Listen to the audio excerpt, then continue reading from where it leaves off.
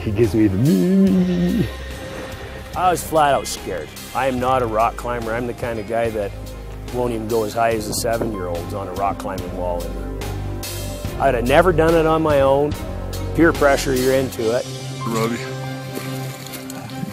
you're agile up here on these peaks. I'm like freaking Drop, nope, your hand right there, right there, no lower.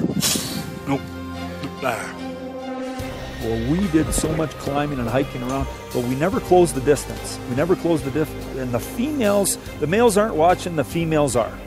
And in the end, the females spotted us and spooked everything. And these rams are minimum 350 meters away across this valley, and they're running on pure rock. They're coming to the black shale slide in about five seconds walking, four big rams. How far? How far? How many meters? How many meters? 350 left shooting left. Come on, bud. Load. I get him. Did I hit him? I don't think so. Take the one up to the left, running up high on the left.